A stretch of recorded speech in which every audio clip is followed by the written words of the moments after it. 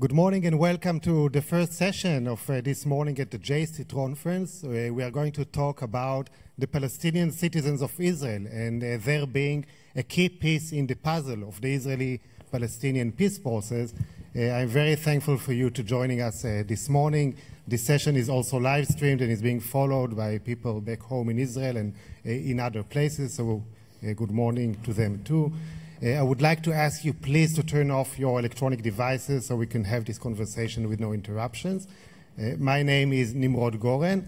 I'm the head of Mitvim. Mitvim is the Israeli Institute for Regional Foreign Policy, a think tank working in Israel, uh, redefining Israel's regional relations, and among the rest, looking at the role that the Palestinian citizens of Israel uh, can have in promoting peace and better regional relations for Israel.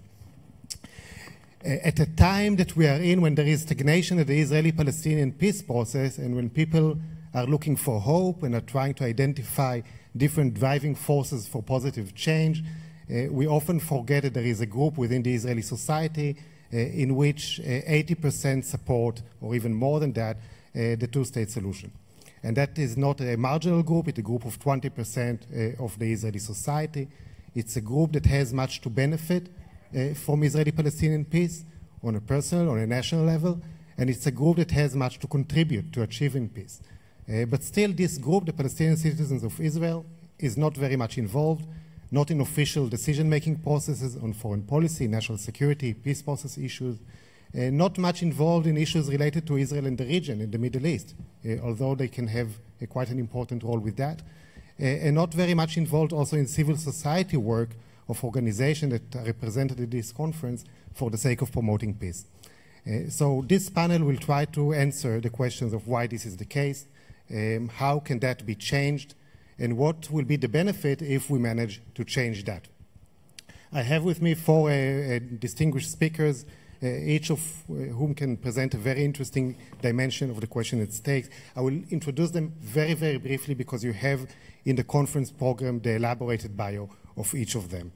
Uh, I'll begin by uh, Amnon Be'eri uh, Sulitzeanu, the co-executive director of the Abraham Fund initiatives in Israel.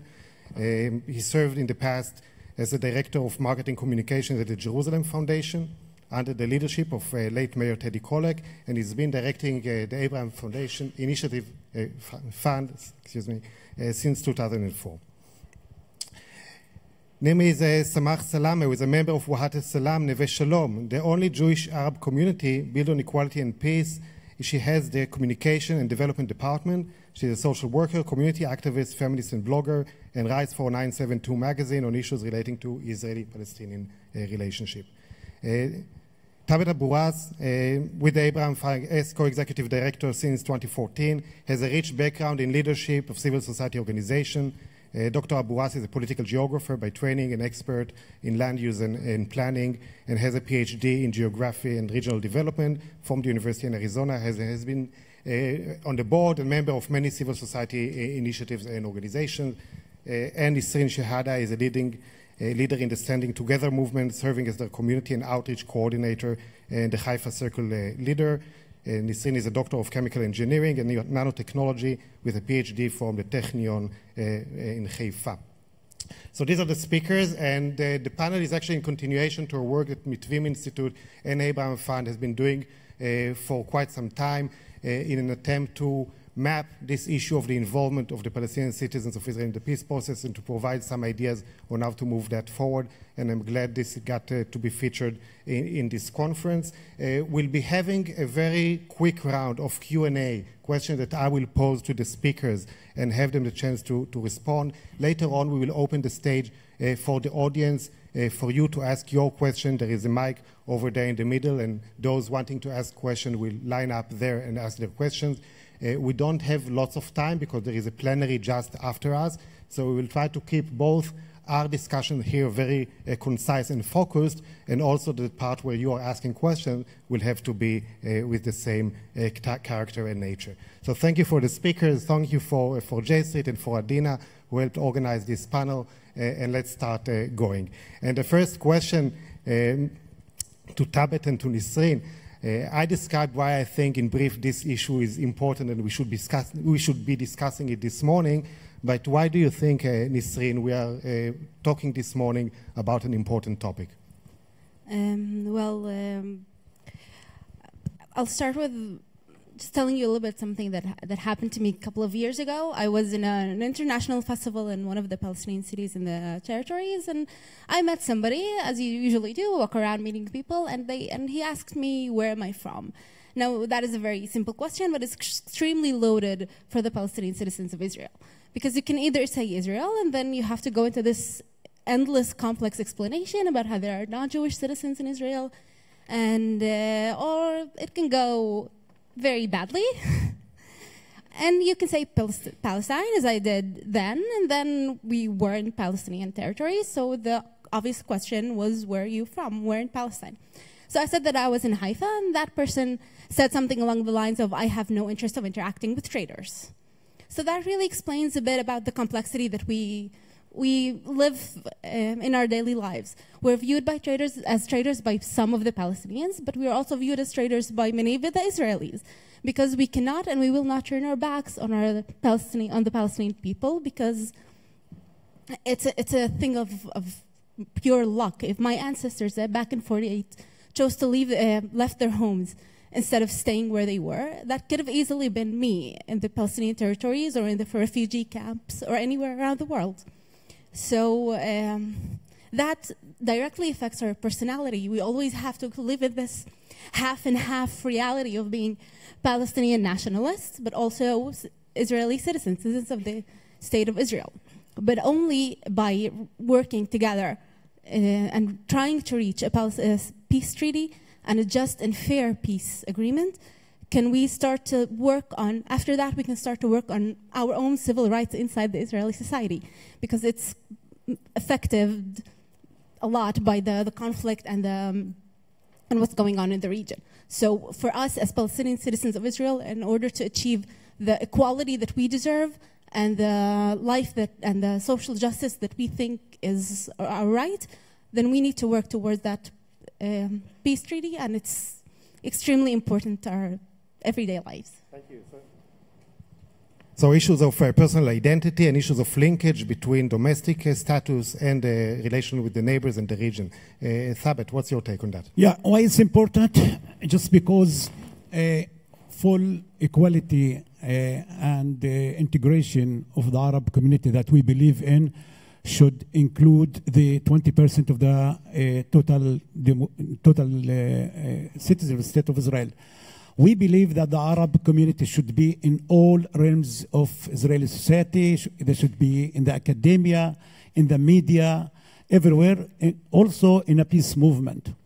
Well, it's important just because we are the people who understand uh, more than anybody else our country and our people in the same time. Uh, we believe that the participation of Arabs in the peace movement will enhance confidence in the other side. After all, we are benefit from uh, peace more than anybody else. It's peace between our country, Israel, and our people, the Palestinians. And we can be hurt the most. After all, we don't see enemies in any war in that region. For us, the victims and the uh, casualties can be our cousins, our relatives, our uh, uh, people in the other side. Okay, they are not enemy for us, and or the victims can be our colleagues in universities, our students in universities, in the colleagues in the workplace, or our neighbors in Israel. So, and also following any insights, uh, always in there is tensions between uh, Palestinians and uh, Israelis. We are paying the most price. We are actually in position uh, between the uh, the rock and the hard place uh, between being Palestinian citizen of the Palestinian in my, our identity, national identity, and being Israeli citizens. So this position is tough for us. So would like we, I believe, we are benefiting more than anybody else from agreement, peace agreement, or peace activities between between our people and our country.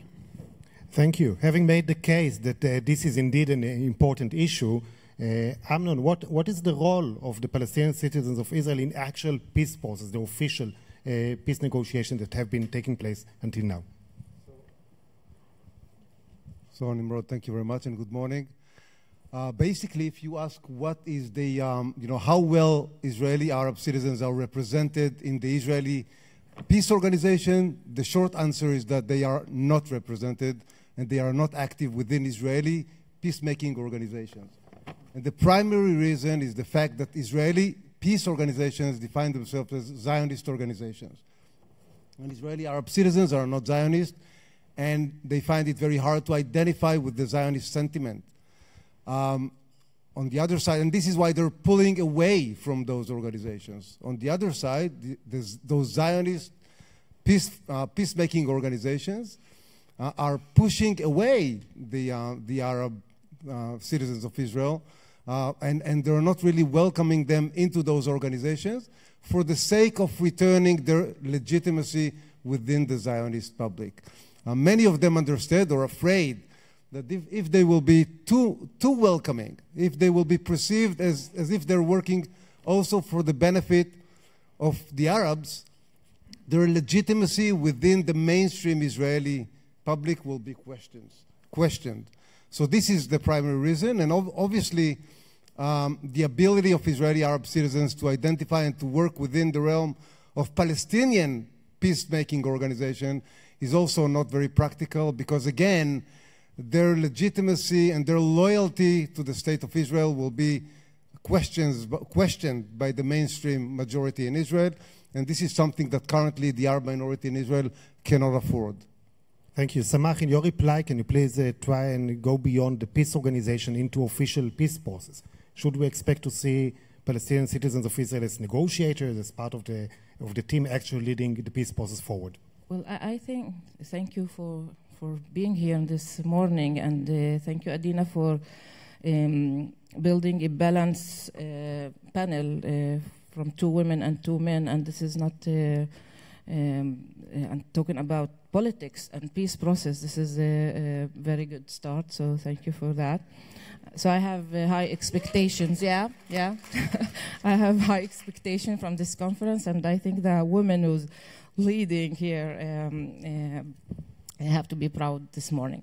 So um, uh, I think one of the failures of uh, um, Oslo agreements that uh, uh they isolated actually the 20% uh, of the uh, citizens of, of, Israel, the Palestinian one. I do not agree with Nasreen that we we have the complicity in our identity after 70 years of of being and acting inside the Israeli society as a part of what's happening in our region.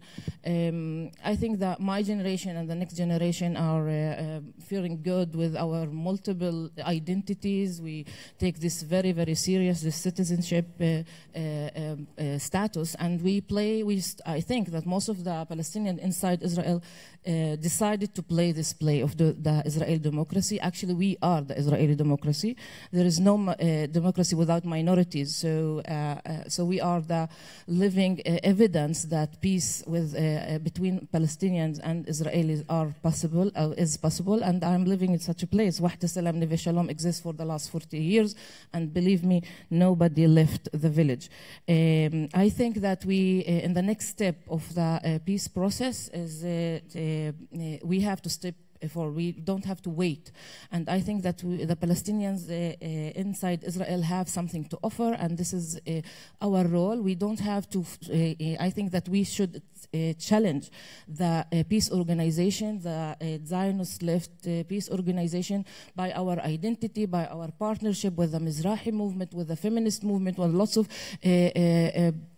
places that uh, uh, the struggle and the conflict find people from different backgrounds, from different minorities uh, cooperate together. And I think that we, uh, we start to do that. I think that the peace movement have to learn from the uh, feminist movement inside Israel and the asylum seeker and other uh, conflict how to cooperate. And it's just a start. And we have to push ourselves. So be ready for the Palestinians. Thank you. Uh, going back uh, uh, to Nisreen, um, we're looking at the political legitimacy of the Arab minority in Israel. and we see, for example, in the public opinion poll that the Israel Democracy Institute is doing every year, that a vast majority of Israelis want, do not want the Palestinian uh, Israeli vote to count in any future decision regarding national security foreign policy issues. Uh, we see debates in the Knesset when a uh, member of Knesset Isawi Frej joined the Defense and Foreign Affairs Committee about how legitimacy is that. How much are those debates influencing the role that the Palestinian citizens of Israel can take, the issue of political legitimacy, and how can that legitimacy be uh, elevated, you think? Well, um, I, I think that the, the situation that we're in today is a result of a very structured work the right wing government has been doing for, for the past several decades. Uh, they've painted this sum zero equation that the that uh, the Arabs have to be the enemy. Uh, the Arabic Palestinian citizens of Israel are part, are the enemy. They're part of the problem. Uh, but that's only because they know that we are part of the solution. They know that only by working Arab, the Arab Palestinian citizens of Israel, right with the Israeli Jewish citizens that believe in peace and believe in reaching an end, a just and fair end to the conflict, only by working together can we reach uh, that goal. And in order to stop those uh, attempts, they've painted us as the enemy. And the left wing, some of the center left um, um, uh, parties are playing into that game. They're biting into it. They're going right with the right wing because they think that's what's going to get them the voters. And they're just, I believe they're mistaken. I believe that only by having a very strong and clear voice that we will stand together and we will work together in order to reach an end to this 70 year long conflict can that be reached and only when we do that will we be able to really stop the right wing agenda of carrying on this endless fighting Thank you. Uh, Amnon, how, how does the Jewish majority look at those issues of political legitimacy of, of the Arab uh, citizens? Uh, also, and can you share some insights from the work that the Abraham Fund initiatives is doing to elevate this political legitimacy in issues other than uh, foreign policy peace process ones? Th thank you, Nimrod. Uh, before answering your question, I, I must share with you uh, an observation about, about the, the past in terms of legitimacy for, for the Arab citizens. And, and I'm going to, to say something harsh and don't hold it against me. Prime Minister Rabin was assassinated in, back in Israel because of the fact that he legitimized the Arab vote. He was relying on Israeli Arab citizens to support his, the peace treaty with the Palestinians. And um, the right wing could not stand the idea that Israeli, the Israeli Arab Palestinian minority will actually uh, be legitimated as a stakeholder in uh, paving the future of Israel. And uh, beyond giving up uh, part of the land of Israel, Rabin was assassinated by the right wing exactly because of this, uh, because of this sin, very basic sin that he did. He was counting and legitimizing Israeli Arab citizens. And since then, the Oslo Accord was a wake up call for the right wing, and they decided to never again let Israeli Arab citizens to really impact um, the relations of Israel with the Arab world and to be, and to be uh, participants in fundamental decision making about the future of Israel. And ever since then, the right wing in Israel, and, and I, I, call it organized crime because it was very well organized. Uh, that ever since then, the Oslo Accord, the, the right wing has done all in its power to delegitimize the Arab vote in Israel. Uh, with all sorts of tricks and shticks and everything. But the, the truth is that they succeeded. And today, uh, the, the, the, the, common wisdom, the, the, the, common knowledge in Israel, or the common understanding, is that uh, Arab citizens should not be part, should, are not, they ca we cannot afford, we, meaning the Jews, cannot afford the Arabs to really um, take active part in decision making about fundamental issues about the future of Israel. And, and now I'll say something about the work of the Abraham Fund.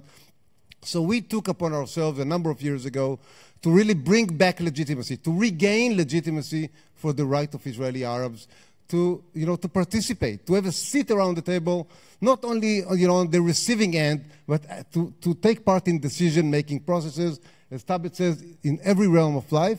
And part of what we did was to combat the notion, uh, incitement uh, against uh, Israeli Arab member, eh, members of Knesset, that they are not interested in anything else but um, the occupation and th- that they're not doing anything for the benefit of their voters or for Israeli society as a whole.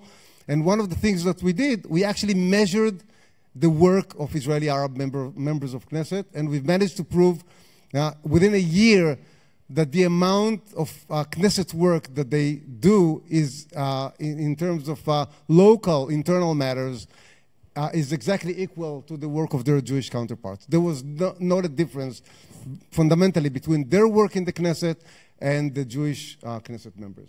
Thank you. Uh, Thabet, uh, Amnon said before, identified some obstacles for the Palestinian citizens of Israel from their involvement in peace organizations.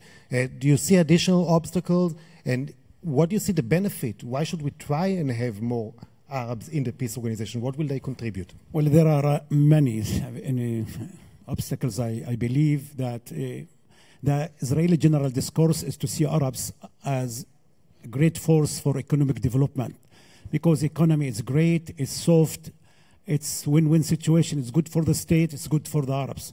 Well, for, from the point of view of peace, Arabs are invisible. There are many Israelis would like to see Arabs are invisible. Actually, I would like to remind all of you that Arabs never part of any declaring war in Israel, but they are part of pushing peace ahead Amnon just mentioned the issue of Oslo agreement that rely on five uh, vote, voters in the Knesset, but also I would like to add that Gaza disengagement also was uh, carried out because of one vote in the uh, law, uh, constitution and law committee of the Knesset. So there are other obstacles, mainly the Israeli peace discourse. Okay, we are deeply or st strongly opposing the command, commanders for peace, military commanders for peace. The, uh, this discourse of demographic threat, the discourse of we are here and they are there, peace that build on the basis of separation is not going to work. When we talk about we are here and they are there, who are we? Am I we or there? Okay? Am I Israeli or Palestinian? The best way for me to be here in Israel and to be there with my people. I would like to see my people have their own, uh, own independent sovereign state alongside Israel. I would like to see peace and the free movement between my country, Israel, and my people there. So this discourse of the peace movement that based on separation is big, big obstacles. So the language, the terminology, the, the Israeli flag that in every single uh, demonstration uh, for peace, well, for many Arabs, the Israeli flag became the flag of the right wing. Unfortunately, I'm saying that, okay? That it's difficult for the Arabs to associate with. So we have to change that. How, if we are talking peace, why we cannot raise the Israeli flag and the Palestinian flag together, okay, and call for peace? So the benefit uh, from uh, from participating in a peace movement is great for the Arabs. Arabs gaining a lot of things. You know, they are gaining in terms of economic benefits. They are the first, they are the real bridge to the Arab world, to the Palestinian people in terms of economic businesses. Okay? And uh, they, they, are losing that. Okay? I'm talking about personal level. But really, we understand the expectations of our people, the Palestinian. I'm sitting with you here and half of my family in Gaza Strip my cousins, my nephews, okay, my cousins are marching to the border every Friday, and I'm talking with them every Friday morning, and they're trying to push for peaceful marching there. Well, so it's very important for you to know that I am looking to things not only through Israeli eyes. Yes, I'm Israeli citizens. I am looking to things also through Palestinians as an Arab eyes. Nowadays, I would like to tell you that the Arab Arab community in large is a very politicized community. Okay? There is a real deep split in the issue of Syria. What happened in Syria the last few days? Half of the Arabs in favor of Assad's regime, okay? And half are supporting the opposition. So I think all of this energy can be channeled into Israeli peace movement and can contribute a lot to the Israeli uh, uh, peace movement. One more uh, point. I think there is historical alienation of the Arabs We don't, we don't want you to come in droves to peace uh, movement, to come in a lot numbers in demonstration. You can color our peace demonstrations with Arab co- color. So we are losing Jews, Jewish citizens of state of Israel. We understand that. People are telling us, come with a few numbers. Okay? So it's really uh, being in being in very uh, difficult situation. So Arabs in large try to avoid these arguments, and uh, this is why we don't see many Arabs are participating in the uh, peace movement. Thank you. Samah, I would like to, to ask you the same question, but also perhaps add another dimension of how do you think the Palestinians in the West Bank and Gaza uh, relate to participation of Palestinians from Israel in peace organization, and whether, based on your experience in, in feminism and activism, uh, can links between Palestinian, Jewish, Israeli, Arab women uh, have an added uh, factor in, in changing this, uh, these obstacles?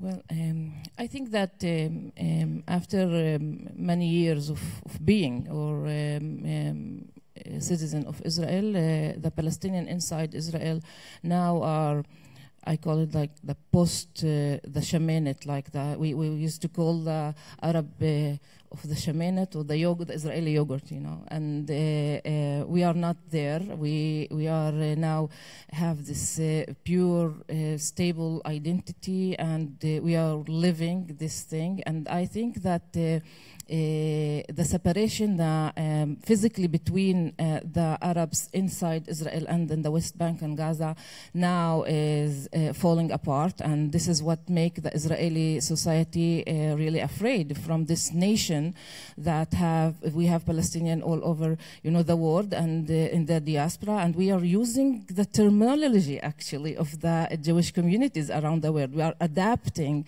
this terminology, and this is really uh, something that from for me as a Palestinian, it's good because I I'm I'm, a woman, so I learn from other people uh, achievements and and uh, challenges. So I adapt the the discourse. So I'm I'm challenging as a woman. Now the, you can't find someone from Ramallah who can accuse me that I am the traitor. I am the the woman who stayed in Israel and didn't run away like my family. So we all know the stories of about our relatives across borders and we, we have this inheritance, we have this history, and we are documenting that. The next step is what we are doing. Israel is a very small state based in the Middle East. I know that she acts like she is in middle of Europe, but she's, she's in the Middle uh, East. And in the Middle East, there are lots of Arab people and we are part of them as well. And we speak the language. We speak fluent Hebrew. We speak fluent Arabic, and we are we are proud of that. So so we can be part, and we must be part. And for the benefits of Israel, we have to be part of the peace process.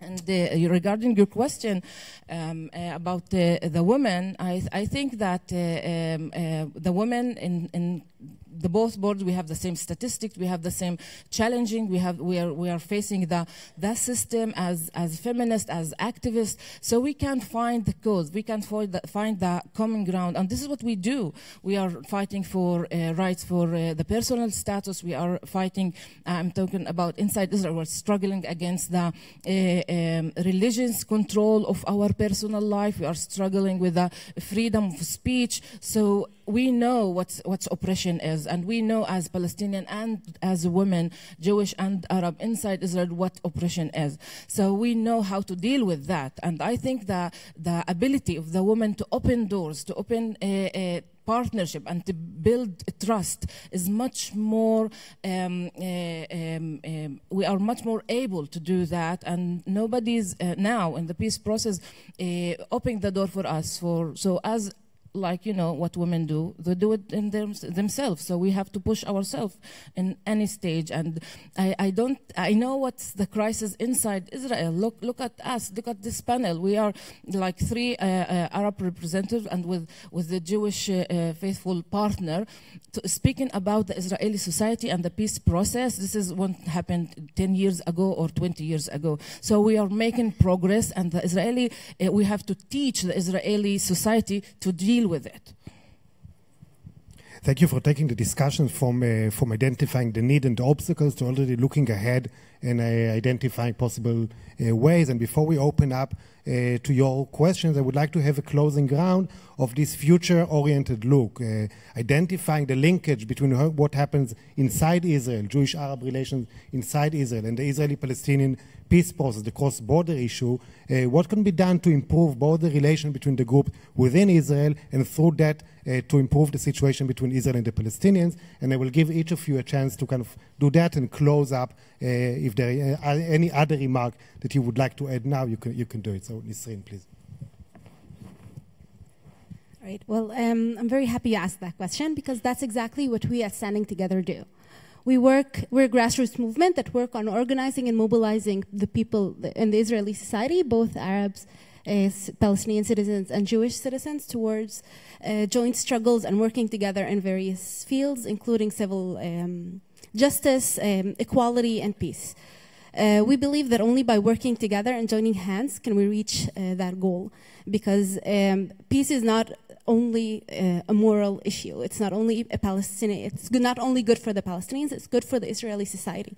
The amounts of funds that go into the, maintaining the occupation are enormous, and they can easily be go to uh, fighting poverty inside of Israel, fighting, um, working for the equality of the Palestinian citizens inside of Israel, working for the elderly community, for the people with handicaps. Also, the loss of lives is enormous on both sides of the border. So it's a joint uh, cause, it's a joint goal, and we believe in working together. Because we, as the Arab Palestinian minority, might not be able to reach peace alone, but the Israeli uh, Jewish uh, partners that we have that want to reach peace cannot do that without us. So we have to work together in order to reach that goal. And only when we understand that uh, peace is that when we reach peace, we will also be able to benefit our society and to, to better our, uh, the way it looks and to have a better future for everybody, not just the Palestinian Arabs but, uh, of Israel, but also the Jewish people of, in, inside of Israel. Can we succeed in, in reaching uh, a peace? And it's important to say it has to be a very fair and just agreement. It has to be agreement that is good for both sides, because otherwise it's not true peace. Well, we are uh, Arab cities of State Israel. We have a lot of challenges. We didn't talk here today about the challenges that basic challenges that we are facing as citizens inside the city of Israel, citizens of State Israel. Bills, introducing bills, racist bills, uh, discriminatory uh, laws. That it, it's a matter of uh, weekly. always there is something new. We we don't have the luxury to abandon this kind of daily work. So our NGOs our uh, political parties are really engaged in this kind of things. For us, issue of peace is very, very important. We'd like to part of it, uh, but you have to remember always that there are a set of things that we have to work in. Again, going back to the discourse, for the Israelis, we have to define which peace we are talking about. There is a Peace is a vague word in Israel. Peace, peace. Everybody wants peace. I'm not here to criticize the great work that done by women organizations, but I would like to ask which peace we are talking about. Okay, it's peace that with two-state solution. What about the, the, the emphasizing the issue of security, security, security. Okay, Security is enhancing. I know that the needs, there's a needs for the security of Israel, state of Israel, but we cannot talk about that only day and night. Iran, all the time Iran. The enemy is there. It, it feels that the Israeli society needs the, uh, the enemy always. So enemy is, the, the enemy is can binding people together, okay? Can binding people together. Well, for me, the issue of security is very important. However, I would like to know what's about water, cleaning water for my people, the Palestinian in Gaza. What about the siege? What about the electricity? Four hours, very basic things. It's also security, okay? It's about life. So we, uh, I wish that, that uh, I would love to see, honestly, I would love to see the peace movement of Israel today with tens of thousands of Israelis going to the border of Gaza, okay? Say, let's march, let's talk, okay? On the border, okay? Let's lift the siege. I think uh, it seems to me that we are not doing all of these kinds of things. So we need to change the discourse. I know that the right wing is adopting a fear discourse and they're succeeding in, in adopting fear discourse and politics of fear. Fear become in Israel is a winning ticket for the election, okay? And we cannot, we have to clear, unfortunately, the left and center parties in Israel, okay? They are not clear in this issue. They are moving all the time to give compromises to the, uh, the right wing instead of stand with a clear message of withdrawal to 1967 border, of full negotiations and a compromise. And that's it. They are not, not doing that. We are not there. But we always will be, Amnesty always will be there. The 20% always will be in favor of peace negotiation and two-state solution. That's it.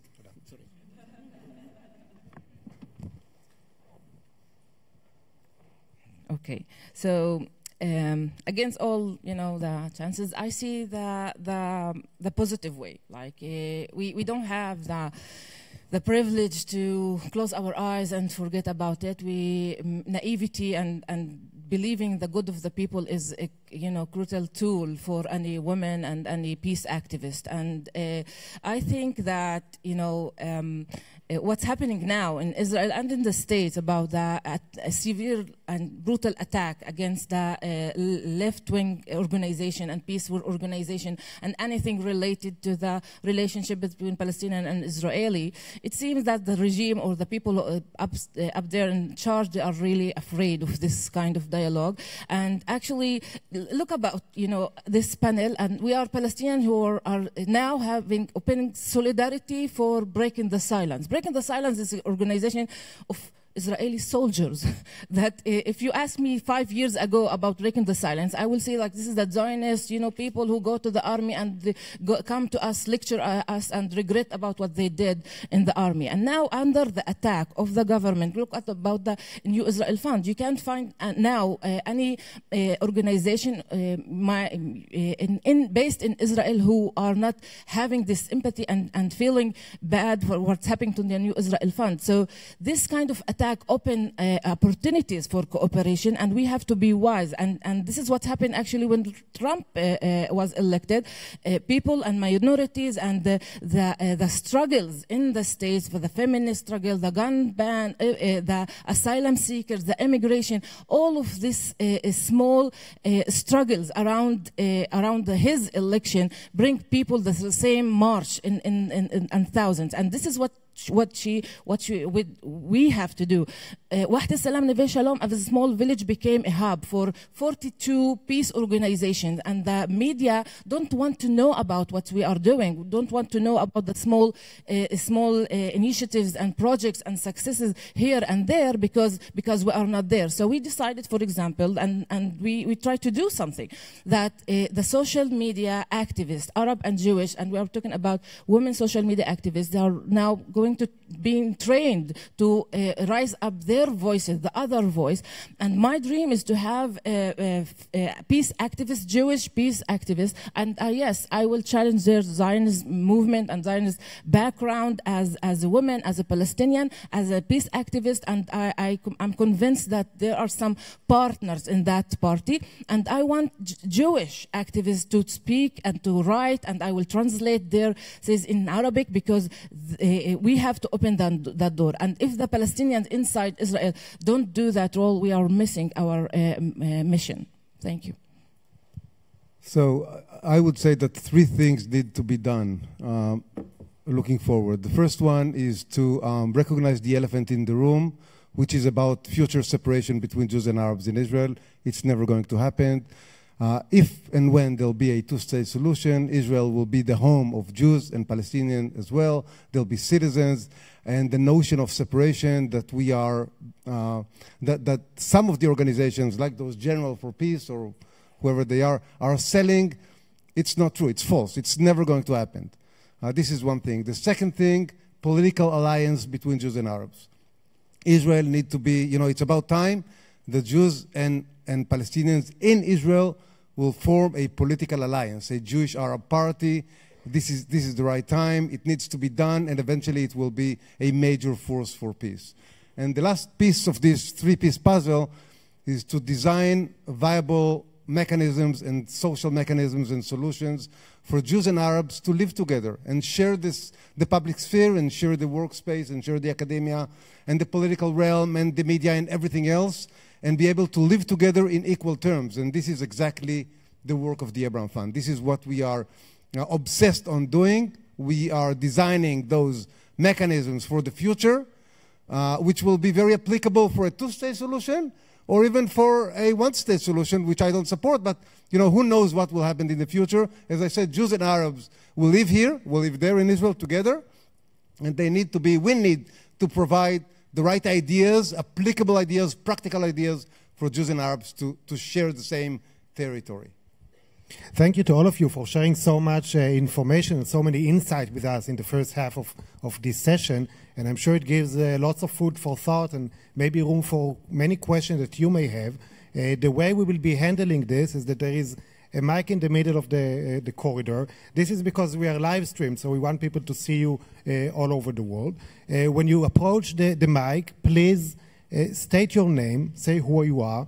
Uh, please make your questions short because there will probably be uh, other people waiting to ask as well. You can already line up uh, after the mic. We'll be collecting three questions at a time and let the, um, the speakers respond. If you are addressing your question to a specific speaker, please state so. so we already have someone waiting, so please. Thank you. Um, Cedric Suzman from Atlanta. And I'd like to pick up on the last remark about the infrastructure. Uh, we've been told by the current government that, in spite of a lot of their things they've done negatively, that they are spending more money on infrastructure in the Palestinian areas of Israel. Is that correct? How much of that is real? And if so, how helpful is that in integrating the Palestinians into Israeli society more completely.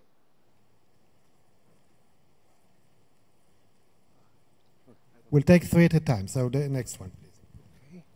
Uh, thank you very much for the presentation. I'm uh, Paul Scham. I'm uh, president of Partners for Progressive Israel, and I I also teach Israel. Israel studies at the University of Maryland. Maryland. I wanted to ask you, we all heard yesterday that Tammy Zandberg, the new Meretz Chair, talked about uh, joining a, uh, a center left coalition government. Since we're uh, imagining a future, we can imagine that. What would happen to the joint list in such a case? I assume it would fracture I uh, obviously, as you all emphasize, Arab votes as well as Arab support is essential. How do you think that might work, and how would there be enough Arab support to give a uh, strong uh, um, uh, support for such a center left government. Thank you. And the last question for this round. Yes, it's um, related to the younger generation. I'd just like to hear a little bit about, you know, how, what is the feeling amongst the, the new generation of Palestinians in Israel, and uh, you know how how they're relating to their situation. It's I'd like to hear about that. Okay, so we have a question about uh, investment in infrastructure, about a joint list under different political scenarios, and now about the next generation. Uh, let's start uh, this way. You do not have to answer all questions. You can choose whatever you want to relate to. Uh, and again, keep it short so we'll have time for other rounds. Amnon, please. I'll just say a word about the uh, economic development plan of this, uh, this current government. it is true that this government under Netanyahu invest in what they perceive as the economic peace. Only problem is that they see it as a substitute to a political arrangement and, and to other form of uh, people to people and, and other social mechanisms. Uh, it is true that whenever it comes to um, economic benefit, potential economic benefit for Israel, this government is willing to invest more than ever in narrowing gaps between Jews and Arabs. The only problem is, and there is a, there is a plan which was cooked at the Ministry of uh, Finance with Arab mayors and with Arab members of Knesset, and it is being actually being operated. It's, it's very good. Uh, on the other hand, whenever it comes to the rhetoric of the government, to propose legislation, to policy, it's about marginal, marginalizing the Arab community and pushing it to the corner and threatening it. So, in a word, in, in, in a nutshell, you can say that this government suffers from a sort of a bipolar disorder when it comes to the to the Arab minority. They don't know exactly what, what they want, and uh, and their their uh, toxic rhetoric offsets uh, their positive action and actually won't let it to maximize the benefit. I think that I'll, I'll leave the other. Um, I can talk about about later about uh, about youngsters' attitude if, if you want, but uh, you, you want to talk about the young Palestinians and the joint list. Okay, so I, I, think the young generation, and uh, I'm 42, so I'm not I, don't know what's as young, and uh, I, I, assume that I'm that uh, still on the border. But I think that um, the young generation is uh, uh, fed up of the uh, current leadership. They are uh, frustrated and uh, they don't really believe. actually, also, in the Palestinian territories, in Gaza and in Ramallah and the West Bank, and um, the lack of the gap of you know the absence actually of the leadership from both sides is, is making the the, the young generation is more on Twitter and Facebook and, and consuming the, their uh, uh, awareness from the social media uh, sphere. And I think that they are looking for um, more creative and connections between people and between revolutionary, you know, um, radical movement and to challenge the system. And this is um, from both sides.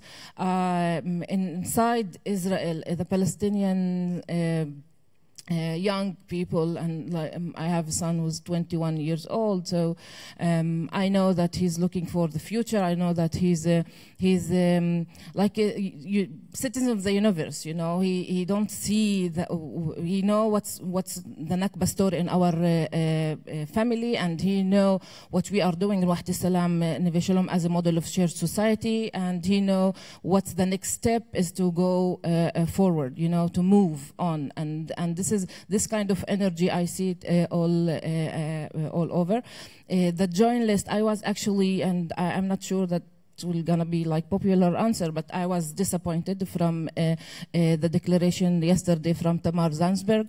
Uh, um, to I think that one of the biggest mistakes of the left in Israel that they didn't really challenge the left. Left go to the minorities Jewish people here march with Martin Luther King and they go to the extreme left in the apartheid state in, in South Africa. Uh, minorities were together and give up some of their privileges to be there. And when she's talked about the center left uh, um, uh, government that she is dreaming about, and we are all hoping that she will achieve our and isolated and not uh, counting 20% uh, of the her citizens and the citizens of Israel. This kind of start is not good start to, to revolution to, to change the system. And I think that uh, she have to dare and to be courage enough. And uh, yes, I do have expectation and high expectation. And we have to, you know, in order to end up in the center, we have to, uh, uh to be uh, radical left in these days last sentence about about the joint list i think that joint list um, i will you know um, i think that I'm not that popular with, I write about them a lot, but uh, I think that they also have uh, to change at, at least 50% of, uh, of our representatives.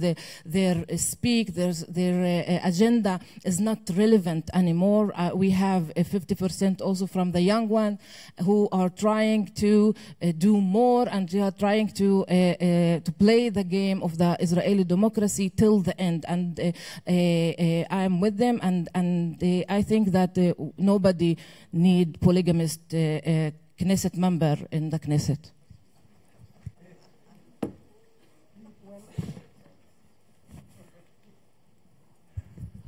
I believe that the joint list should change, okay, but not before changing figures, we change agenda.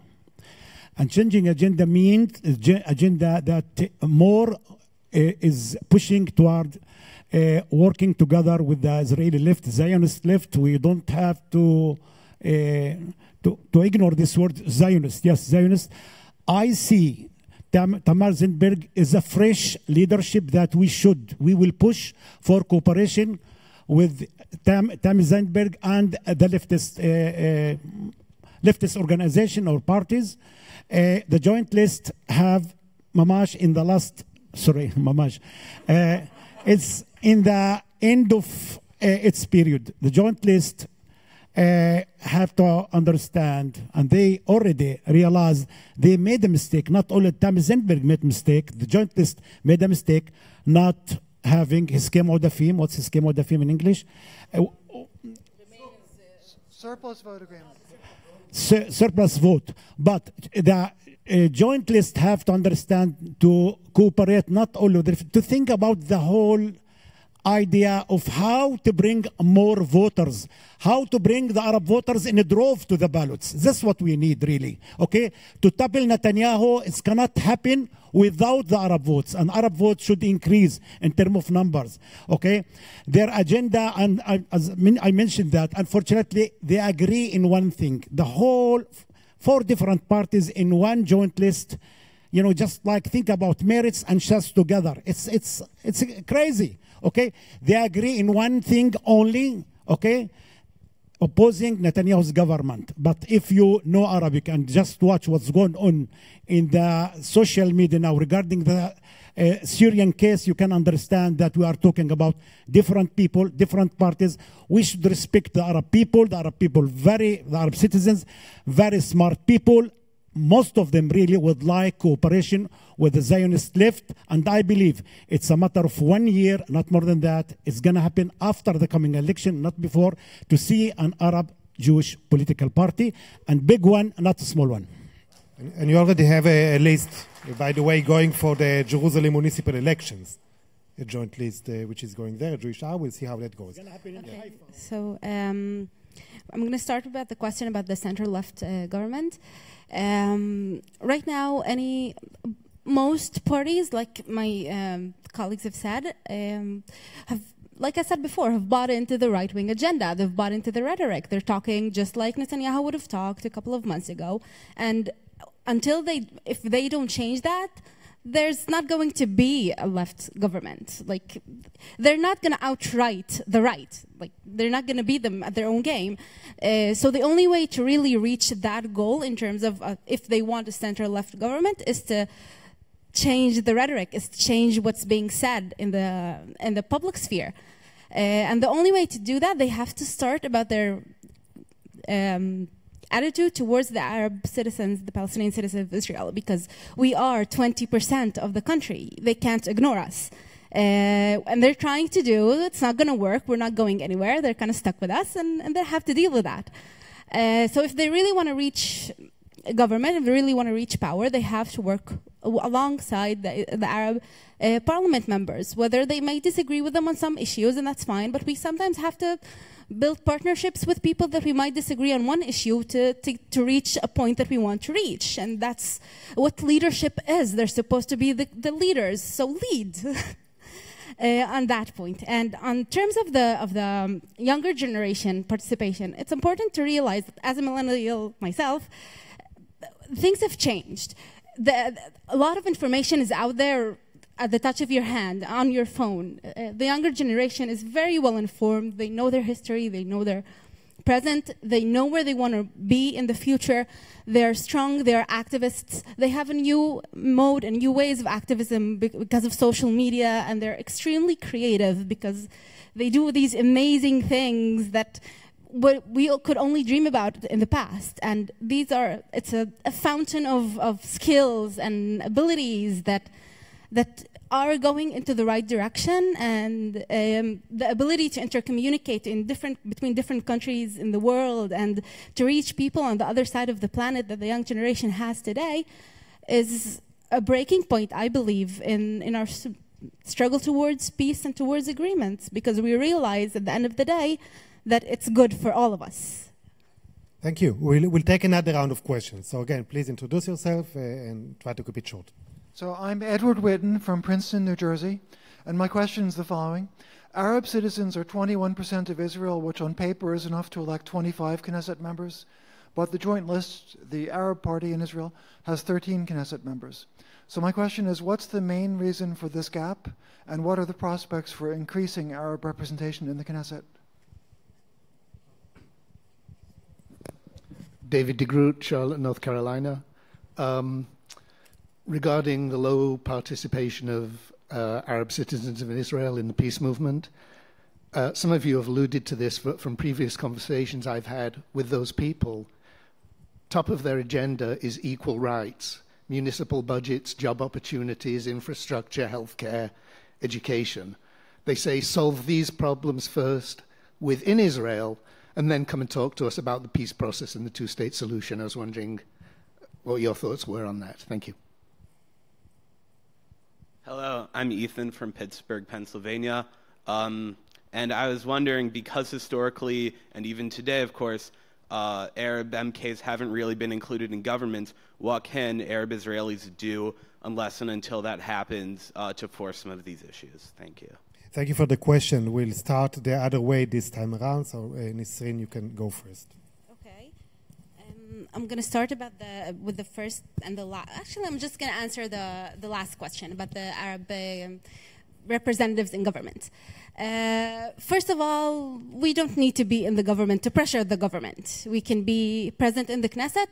We've done, we've seen that in the in the area of Rabin, that in the era of Rabin, sorry, that the the Arab um, MK members were supporting. Um, a group to him. They enabled the, the Oslo processes and, and many other laws that he tried to um, to pass, and, and that was only possible because of the MK uh, Arab MK support. So whether we are or we are not in the government is not really an issue. We can be just as effective and just as uh, influential outside of the government. That doesn't really bother us much. But uh, and in the current states of affairs, I really don't see how that how being part of the government is possible. Uh, after we reach uh, a peaceful agreement, when an Arab MK wouldn't have to vote yes or no for war on God knows where. Uh, maybe we'll talk again. But right now, I really, honestly, realistically do not see that happening. Uh, and it's not much of an issue in any case. In terms of the gap in representation, well, don't worry, we'll fix that. That's pretty much my answer. Well, I believe that uh, we should learn from the other models around the world with minorities, even to learn something from what's going on with the Haredi Jews. I'm not sure that, yes, I understand that it's tough for us to be in a, in a government such as the right wing government, Netanyahu's government. Maybe other governments that can leaning toward peace, we can be part of it, or leaning toward a bloc uh, like the era of Rabin, for example, to try to do that. But we have to stop with the politics of cry.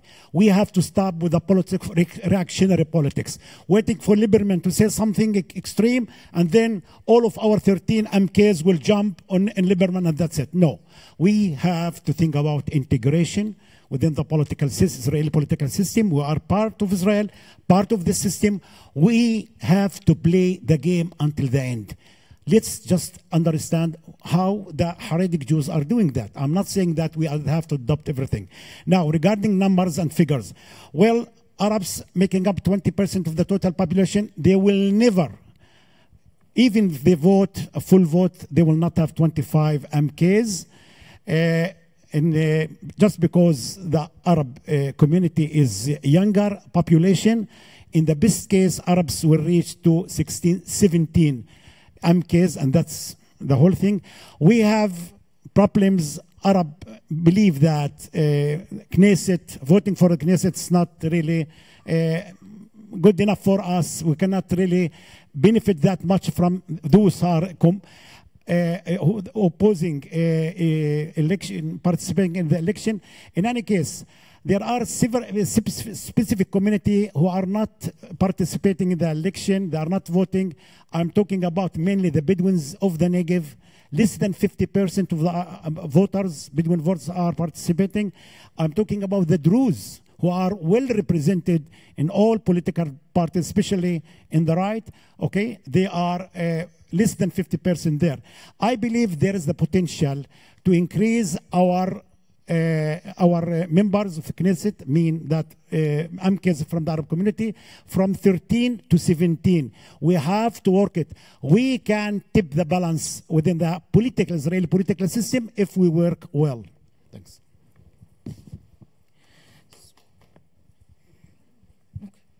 Um, so I, I, have to correct myself. I said in the last uh, comment that uh, nobody need the polygamist uh, Knesset member and, and the joint list, and um, nobody need polygamist at all. So this is the correction. Not only in the Knesset, uh, there except the polygamist. Um, so. Uh, uh, I think that for you, sir, who just asked about the uh, peace economy and the investment of the um, uh, or the agenda of the political Knesset member, I think it's it's you are adapting like what you see, what you heard from the Israeli media, and Amnon talked about that. I think that. Uh, um, um, achieving um, you know professional uh, integration and economic integration and uh, will lead you know spontaneously and, and it's normal and it's have to be to lead to political integration okay? I can't be with master's degree doing my, my research and activism and, and aware and write in english and hebrew and so on and not to be part of what's happening around me. You know that this this kind of palestinians who are really you know strong aware uh, human beings and and speaking about democracy and equality and fighting for and struggling for for their rights they have to be political. The, the, the, the, the, tools that we need are political, and we are we have to play the game. So so we cannot be strong like economically and leading. Now we, uh, in a few years the Arab citizens will lead, the, for example, the health system in Israel, and not to be aware of, what, of the other side. So it's it's the whole package. You know, you can't divide the the Palestinian personality. And yes, in in, the, in the, this, that's why the Israeli society don't know what to do, to do with us, you know, that because uh, economic empowerment goes with political empowerment, okay? Uh, for, uh, um, we cannot fix, we, we, don't, we don't fix, uh, you know, uh, Thabet says that he don't really agree about like four parties to be in the same thing. We have a government with Liberman going with the Yahadut HaTorah. So if, if the joint list is crazy, this government is crazy. So so yes, we have to aim higher. We have, I know that we are not going to be in the government, but I, in, maybe in the next uh, decade, I don't know, but I think that we have to aim higher and we have to, ha to put the, you know, high expectations and then we will achieve more. To be there and to have 17 uh, uh, uh, Knesset members and this is the, that's it, like what we want to do, like to be in few committees and, and this, is, this is what we are struggling for? No. If we have to be part of the peace process, if we have to be part of the Israeli society, if we have to be part of the Arab nation and well, speaking uh, and to dare to speak speak about, you know, and to defend the, the Palestinian cause, we have to aim more and we have to dare to ask for more. And this is what we should do you know, and, and to be there in the Knesset, it's not, it's not like we have to be checked, you know. Uh, this is what my, my father's generation did, that we have four or five uh, Knesset, uh, uh, Knesset members. I need more, and we have to struggle for more than to be there. Yeah, and for me, aiming higher is about numbers, first of all, and there needs to be more Arab members of Knesset in the joint list and also in the Zionist party parties, and when, when, wherever it's possible to get better representations of the Arabs in the parliament, but also the quality of the political work. And I accept, I expect politicians, including Arab politicians, to engage in the dirty game of politics and to make alliances and to push and pull and to deliver um, um, for their community and, and, and, their voters. And I'll, I'll give you an example. Uh, during this economic plan um, um, planning process, uh, Ayman Odeh and the Joint List engaged with the Ministry of Finance, and I remember Ayman telling, telling me uh, that he spoke with the Minister of Finance about 50 times uh, over half a year or something. And he, he, was part of actually designing and cooking and facilitating this plan. And this is the work that we expect. It's not only about numbers. Uh, the Arab, the fatigue of the Arab community from the political system in Israel is due to the fact that Arab members are sitting in the Knesset, they scream and they shout and they're being kicked, kick, kicked out of the Knesset, but they're not doing anything meaningful, anything that deals with actual politics. And this has to stop. They need to engage and to make alliances. Thank you. We have just about five minutes to conclude, to wrap up. I would like to give a chance to those who are waiting to, to ask their questions. So please do it uh, quickly. And then we don't need all of us to answer again. Those of you who want to make a, a remark, you can do it very quickly. Yeah, please. Um, hi, my name is Noam. I'm from Lewis and Clark College in Portland, Oregon. Um, I was wondering, we've talking, been talking a lot about politics, but more about on the ground. Um, basically, what Palestinian Israelis face with racism, as well as the role of language and speaking Arabic and Hebrew, and the role, like the power that Hebrew has um, as a colonizing language. That's my question. Michael Goldstein, New Rochelle, New York. Uh, the term elephant in the room is probably overused, and I think there are a lot of elephants in this room. Uh, I question for the Palestinian, Israeli Arabs. Uh, the gentleman on the right mentioned friends and relatives in Gaza. And I think for a lot of Israelis and American Jews who are pro peace, uh, the elephant in the room is Hamas. And the, uh, my friends at AIPAC say, how can you give the West Bank uh, away, and then Hamas will be 12 miles from Tel Aviv and can shut down Ben Gurion any time with rockets. So, how is the what is the perception of Hamas in the Israeli Arab community, and how do you propose to defeat Hamas? I'm not talking militarily, because Hamas, I think, is a is an indigenous Palestinian uh, entity and has to be dealt with in any realistic, practical uh, vision of peace. Thank you.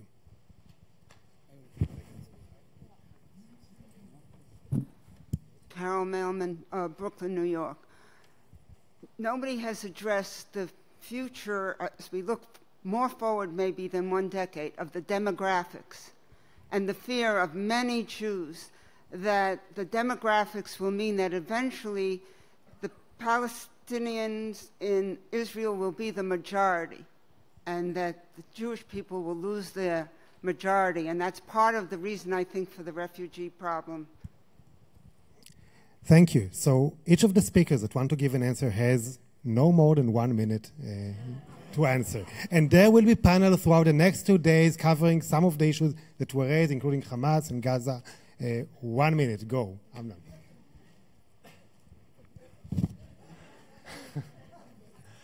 um, the democratic um, uh, demon or devil, you know, we're, we, are we are dealing uh, with, with this demon all the time. Um, I, I, think that uh, it goes without saying that a two-state solution, uh, which uh, my understanding is that most of you support this notion, uh, will um, pre prevent or delay this, this, this, this, um, the realization of, of this nightmare or dream. and, and this is why we're all working this is, this is part of the reasons. But as I said, Jews and Arabs will keep uh, living in Israel, and it doesn't matter if the minority will be 20%, 40%, 45, 50%. It doesn't matter. Israel will always be the home, the perfect and full and equal home of both Jews and Arabs. And this is why, for me, you know, I'm, I'm not obsessed with this question.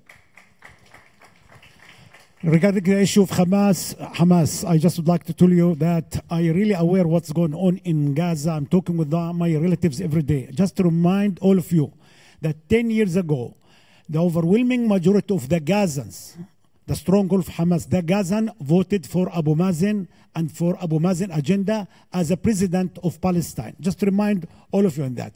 What we need to give hope to the Gazans, the fact that the more poverty in Gaza, the more people will stick with Hamas. Just people, if there is a real election right now, true election, the overwhelming majority of the Palestinians in Gaza will vote against Hamas.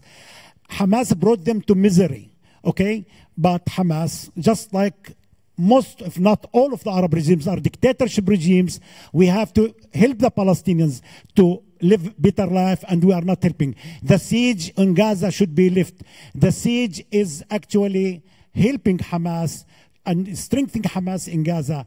We have to bring to, to movements, some movement to the Palestinians of Gaza, to the West Bank at least, to can you imagine 200, 100, 200,000 workers from Gaza uh, in Israel? Okay, why not? Okay, I think this will help the, help us to try uh, to topple Hamas and Hamas agenda. Okay, well, I first want to toggle the question about the language. That's actually a very good question, and thank you for asking that. Um, one of the first tools of oppression has always been attacking and detaching people from their language and their heritage and their connection to their identity. That will not happen. Arabic has always been and will always be part of the public sphere in, the, in Israel. Uh, the right-wing government can pass as many laws as they want. We will still have a very strong connection. We still read in Arabic. We still speak in Arabic. It will still be present everywhere you look. And so that's just something that they're going to have to live with because that's the way it's going to be. We're not going to have that any other way. Thank you. And about the, just a, sentence about the, the whole thing about the dem demographics, it's we're human beings, we're living there. I'm sorry, but I refuse to look at myself as a demographic, demographic threat like people, a lot of people do.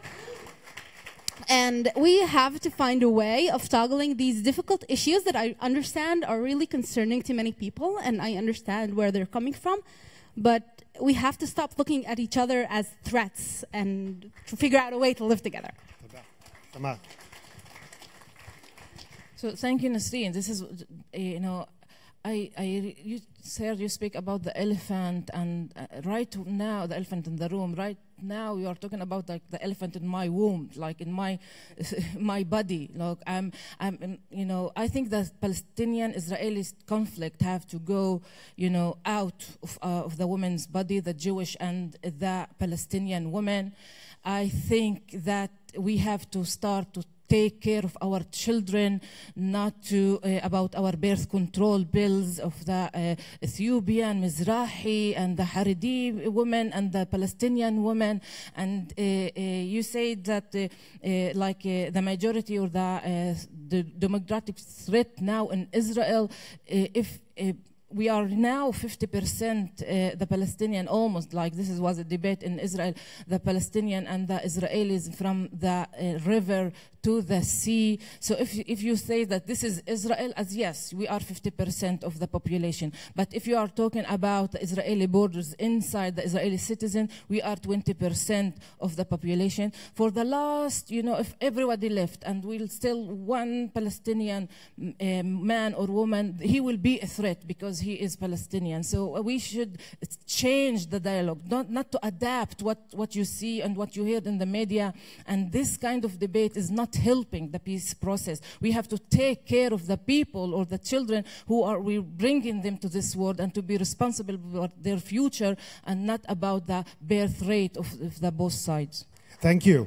Uh, I think this uh, the conversation uh, that we had over the last hour and a half showed know, the potential of uh, greater involvement of Palestinian citizens of Israel in efforts to promote peace. I should, uh, the, we think we should uh, try to contribute to this linkage between the domestic uh, Jewish-Arab issues and the Israeli-Palestinian cross-border issue. And I thank to all of those around this panel for the work that they are doing for that uh, goal, and thank you for your involvement in that. Uh, 10 o'clock, the plenary begins. See you there.